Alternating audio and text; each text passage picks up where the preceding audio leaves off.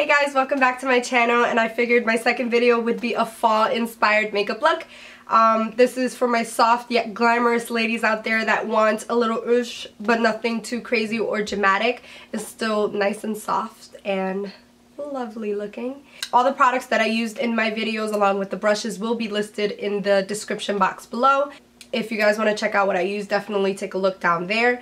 Please thumbs up this video if you guys did like it. Don't forget to subscribe. And if you guys want to click the little bell up there in the top, that way you get notified every single time I upload. That'll be awesome. Without further ado, if you guys want to know how I created this look, please keep watching.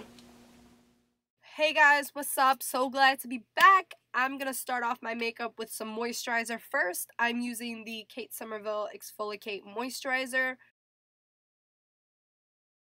Now, I was having a little trouble with this moisturizer. It has glycolic acid in it, which sort of burns my skin a little bit on the sensitive areas that I have, but it goes away within like a second, so it's not a big deal.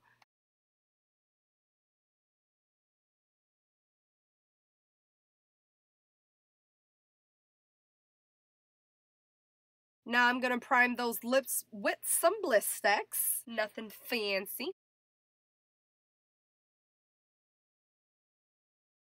Now I'm going to just prime my face with some Urban Decay Quick Fix Setting Spray. This stuff is good, girl. You need to get you some.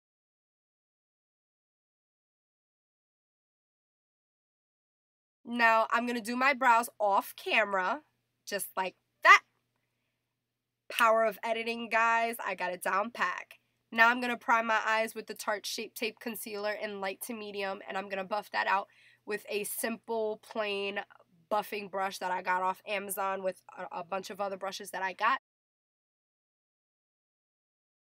Now I'm going to set that with Makeup Forever Translucent Setting Powder and my e.l.f. tapered brush. Now I'm going to take my Anastasia Subculture palette with the color Dawn as my transition color.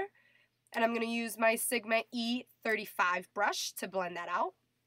Now I'm taking Roxy with the same brush just to apply that over Dawn just to make it a little bit more warmer.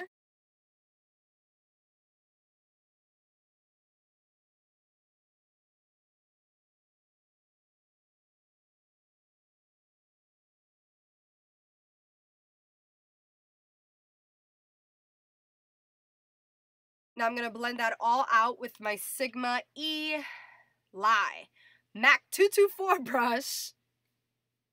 Now this part got cut out, but I did just take Man Eater from the Huda Beauty Rose Gold palette and my E25 brush from Sigma, and I applied this color straight into my crease on top of Roxy, just to make it a little bit more like a berry tone.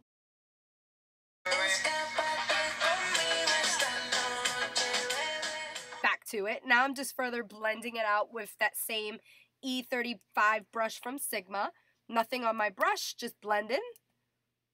Now I'm going back with my Subculture palette and I'm taking All Star with the Sigma E25 brush again. And I'm going right on top of Man Eater from the Huda Beauty palette just to further deepen that crease. I'm taking the Sigma E35 brush to blend that color out a little bit because it was going on a little funky. Now I'm going back and forth between brushes, applying, blending, applying, blending.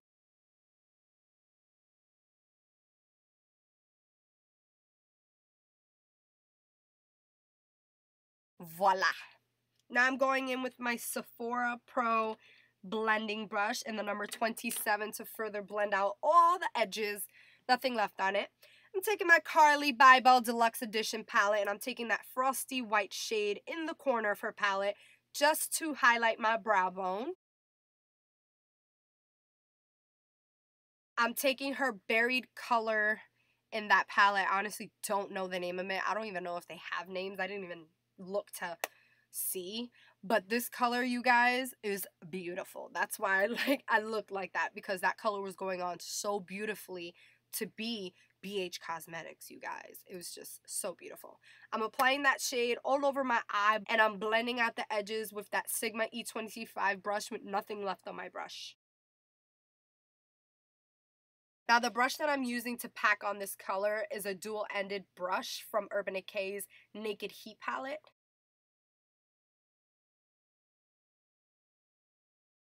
Now I'm taking my Kat Von D tattoo liner and I'm going to quickly draw a very, very thin line against my lashes just to make the false lashes mend a little better with my actual lashes. And girl, I could not see. Like, I am blind. I wear glasses on an everyday basis, and for me to look in that little ass mirror just to draw this line was hard as hell.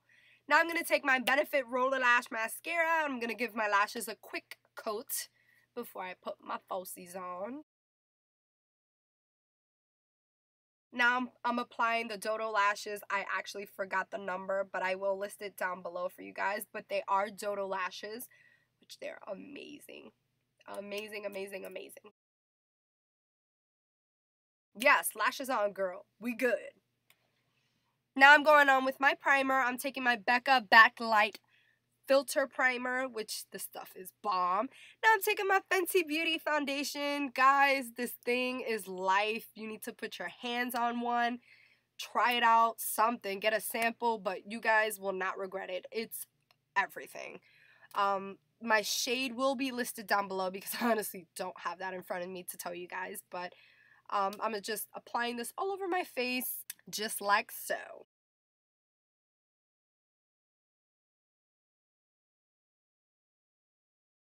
Now I'm going in with my Maybelline Fit Me foundation stick in the number 355 to contour. This stuff I've been using for like two years to contour and it's my ride or die. Now I'm taking my Sephora Pro brush in the number 53 to blend out my contour.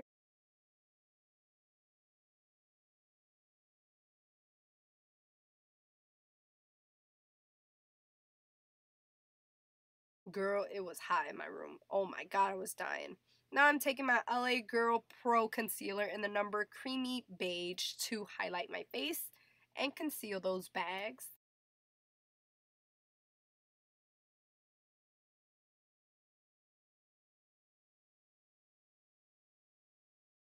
And guys, I forgot to mention, but the sponge that I'm using is from Real Techniques. It's just the basic sponge that they normally sell.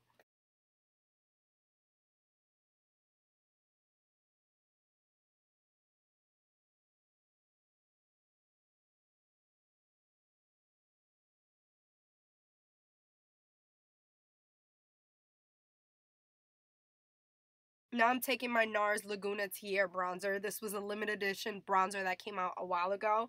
I was able to get my hands on it before they discontinued it.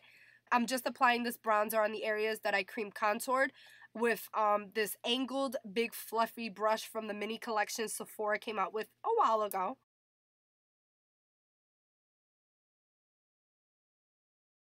Now I'm taking my Bahama Mama bronzer and I'm going to further contour my face with um, Kat Von D's dual-ended brush with the more tapered side.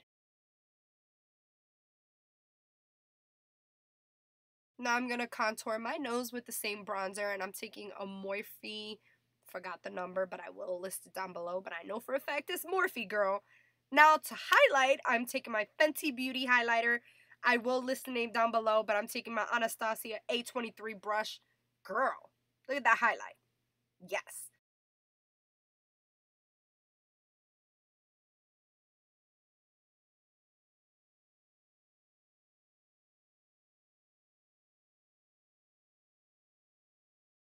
Now I'm taking my Milani powdered brush in the Romantic Rose color pop that on my cheeks real quick. And I'm taking the other side of my Kat Von D dual-ended brush.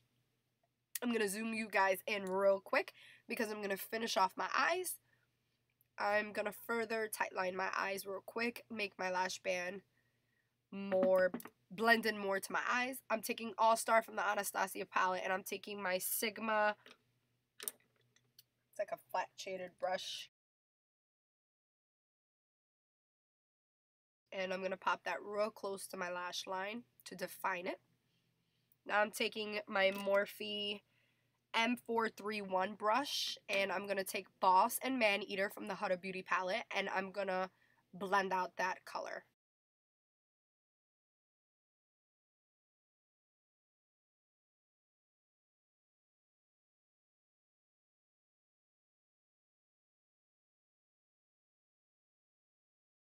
So I was trying to look for the Sigma flat the Tightline brush and I lost it. So now I had to opt out for this brush right here, which has no name. Again, it came from Amazon, but it's a small angled brush. And I just applied a little bit more of All Star very close to my lash line and further blend it out. Now I'm going back in with the Carli Bybel palette and I'm taking that very frosty pink shade for my inner corner highlight. Now I'm taking my Benefit Highbrow pencil to line my waterline. And a little bit more mascara, you guys. And now to finish off, I'm doing the lips. I'm taking this NYX lip liner in Earthquake to line my lips.